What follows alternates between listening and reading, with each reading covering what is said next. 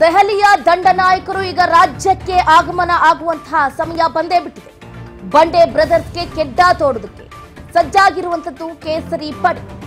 Bengaluru ಗ್ರಾಮಾಂತರವನ್ನ target ಮಾಡಿಕೊಂಡು ಮತ ಬೇಟೆಗೆ ಪ್ಲಾನ್ ಅನ್ನ ಹಾಕಿಕೊಳ್ಳಲಾಗಿದೆ. ಬೆಂಗಳೂರು ಗ್ರಾಮಾಂತರ ಅಂದ್ರೆ ಈಗಾಗಲೇ ಗೊತ್ತಾಗಿರುತ್ತೆ. ಡಿ ಕೆ ಸುರೇಶ್ ಭದ್ರಕೋಟಿಯನ್ನ ಚಿತ್ರ ಮಾಡೋದಕ್ಕೆ ಕೇಸರಿ ನಾಯಕರು ಅತಿರಥ ಮಹಾರಥ ಅಂತಂದ್ರೆ ಕೇಂದ್ರ ಗೃಹ ಸಚಿವರಾದಂಥ ಅಮಿತ್ ಶಾ ಅವರನ್ನ ಕರೆ ತಂದಿದೆ ಕಾಂಗ್ರೆಸ್ ಭದ್ರಕೋಟಿಯಲ್ಲಿ. ಅಮಿತ್ ಶಾ ರಣ ಕಹಳಿಯನ್ನ, ಮತ ಕಹಳಿಯನ್ನ ಮೊಳಗಿಸುವುದಕ್ಕೆ ಸಜ್ಜಾಗಿರುವಂಥದ್ದು. ಎಸ್ ಬೆಂಗಳೂರು ಗ್ರಾಮಾಂತರ ಡಿ ಕೆ ಸುರೇಶ್ ಹಾಗೆ ಡಿ ಕೆ ಶಿವಕುಮಾರ್ ಅವರ ಭದ್ರಕೋಟೆ ಅಂತಾನೆ ಹೇಳ್ಬೋದು. ಕಾಂಗ್ರೆಸ್ ನಾಯಕರ ಕೋಟೆಯನ್ನ ಛಿದ್ರ ಮಾಡೋದಕ್ಕೆ ಈಗ ಚುನಾವಣಾ ಚಾಣಾಕ್ಯನನ್ನ ಅಖಾಡಕ್ಕೆ ಇಳಿಸೋದಕ್ಕೆ ಬಿಜೆಪಿ ತಯಾರಿಯನ್ನ ಮಾಡಿಕೊಂಡಿರುವಂಥದ್ದು. ಡಿಕೆ ಬ್ರದರ್ಸ್ ತವರಿನಲ್ಲಿ ಅಮಿತ್ ಶಾ ಮಿಂಚಿನ ಸಂಚಾರವನ್ನ ಮಾಡುವುದರ ಮುಖಾಂತರ ಒಂದು ಸಂಚಲನವನ್ನು ಕೂಡ ಕ್ರಿಯೇಟ್ ಮಾಡಲಿದ್ದಾರೆ. ಅದರಲ್ಲೂ ಮುಖ್ಯವಾಗಿ ಬಿಜೆಪಿ ಅಭ್ಯರ್ಥಿ ಬೆಂಗಳೂರು ಗ್ರಾಮಾಂತರದಿಂದ ಏನು ಡಿಕೆ ಸುರೇಶ್ ಅವರ ಎದುರಾಳಿಯಾಗಿ ಅಖಾಡಕ್ಕೆ ಇಳಿತಿ- ಇಳಿದಿರುವಂಥದ್ದು. ಹಾರ್ಟ್ ಸರ್ಜನಿಸ್ಟ್ ಡಾಕ್ಟರ್ ಮಂಜುನಾಥ್ ಅವರ ಪರವಾಗಿ ಚಾಣಕ್ಯ ಪ್ರಚಾರವನ್ನ ನಡೆಸಲಿದ್ದಾರೆ.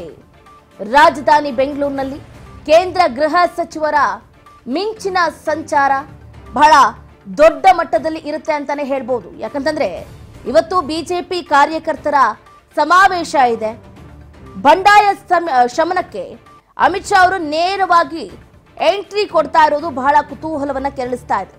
ಈಗಾಗಲೇ ಪಕ್ಷದೊಳಗಿನ ಆಂತರಿಕ ಭಿನ್ನಮತ ಆಗಿರ್ಬೋದು, ಬಂಡಾಯದಂತಹ ಚಟುವಟಿಕೆಗಳನ್ನ ಈಗಾಗಲೇ ಸೀರಿಯಸ್ ಆಗಿ ತಗೊಂಡ್ಬಿಟ್ಟಿದ್ದಾರೆ.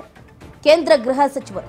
ಹಾಗಾಗಿನೇ ಅಸಮಾಧಾನದ ಬೆಂಕಿಯನ್ನ ಶಮನ ಮಾಡೋದಕ್ಕೆ ಎಂಟ್ರಿ ಕೊಟ್ಟಿದ್ದಾರೆ. ನಿನ್ನೆ ರಾತ್ರಿ ಬೆಂಗಳೂರಿಗೆ ಬಂದಿಳಿದಿದ್ದಾರೆ ಅಮಿತ್ ಶಾ ಅವರು. ಪಕ್ಷದ ವಿವಿಧ ಹಂತದ ನಾಯಕರ ಜೊತೆ, ಮಿತ್ರ ಪಕ್ಷ ಜೆಡಿಎಸ್ ನಾಯಕರ ಜೊತೆ ಹಲವು ಸಭೆಗಳನ್ನು ಕೂಡ ಇವತ್ತು ನಡೆಸಲಿದ್ದಾರೆ. ಪ್ರತ್ಯೇಕ ರಾಷ್ಟ್ರದ ಪ್ರಸ್ತಾಪ ಮಾಡಿದ ವಿವಾದ ಏನಿದೆಯಲ್ಲ, ಡಿ ಕೆ ಸುರೇಶ್ ಅವರು ಈ ಹಿಂದೆ ಒಂದು ವಿವಾದಾತ್ಮಕ ಹೇಳಿಕೆಯನ್ನ ಕೊಟ್ಟಿದ್ರು. ಪ್ರತ್ಯೇಕ ರಾಷ್ಟ್ರ ಅದನ್ನ ಮತ್ತೆ ಎತ್ತಿ ಹಿಡಿಯೋದಕ್ಕೆ ಕೇಂದ್ರ ಗೃಹ ಸಚಿವರು, ಇತ್ತ ಬಿಜೆಪಿ ನಾಯಕರಿಗೆ ಹಾಗೆ ಜೆಡಿಎಸ್ ನಾಯಕರಿಗೂ ಕೂಡ ಮನವರಿಕೆ ಮಾಡ್ತಾ ಇರುವಂಥದ್ದು. ಚುನಾವಣಾ ಸಂದರ್ಭದಲ್ಲಿ ವಿವಾದಾತ್ಮಕ ಹೇಳಿಕೆಗಳೇ ಸ್ಫೋಟಿಸುತ್ತೆ. ಹಾಗಾಗಿ ಡಿ ಕೆ ಸುರೇಶ್ ಅವರು ಕೊಟ್ಟಂತಹ ಹೇಳಿಕೆಯನ್ನ ಮತ್ತೊಮ್ಮೆ ಪ್ರತಿಧ್ವನಿಸೋದಕ್ಕೆ ಬೆಂಗಳೂರು ಗ್ರಾಮಾಂತರ ಕ್ಷೇತ್ರದಿಂದಲೇ. ಕರ್ನಾಟಕದ ಚುನಾವಣಾ ಪ್ರಚಾರವನ್ನ ಮಾಡೋದ್ರ ಜೊತೆ ಜೊತೆಗೆ ಆ ಹೇಳಿಕೆಯನ್ನ ಮತ್ತಷ್ಟು ಸ್ಫೋಟಿಸಬೇಕು ಅನ್ನುವಂಥ ನಿಟ್ಟಲ್ಲಿ ಕೇಂದ್ರ ಗೃಹ ಸಚಿವರು ಈಗಾಗಲೇ ಮನವರಿಕೆಯನ್ನ ಮಾಡಿಕೊಂಡಿದ್ದಾರೆ. ವಿವಿಧ ಲೋಕಸಭಾ ಕ್ಷೇತ್ರಗಳಲ್ಲಿ ಇರುವಂತಹ ಅಸಮಾಧಾನದ ಹೊಗೆಯನ್ನ ಹೋಗಲಾಡಿಸಬೇಕು. ಮಿತ್ರ ಪಕ್ಷ ಜೆಡಿಎಸ್ ಜೊತೆಗೆ ಈಗಾಗಲೇ ಹೆಗಲು ಕೊಟ್ಟಿದೆ. ಅದರ ಜೊತೆ ಜೊತೆಗೆ ಶ್ರಮಿಸಿ ಈ ಬಾರಿ ಇಪ್ಪತ್ತೆಂಟು ಲೋಕಸಭಾ ಕ್ಷೇತ್ರಗಳಲ್ಲಿ ಇಪ್ಪತ್ತೆಂಟು ಲೋಕವನ್ನ ಗೆಲ್ಲಬೇಕು ಅನ್ನುವಂಥ ನಿಟ್ಟಲ್ಲಿ ದೆಹಲಿಯ ದಂಡ ನಾಯಕರು ಬ್ಲೂ ಪ್ರಿಂಟ್ ಅನ್ನ ಹಾಕೊಂಡಿದ್ದಾರೆ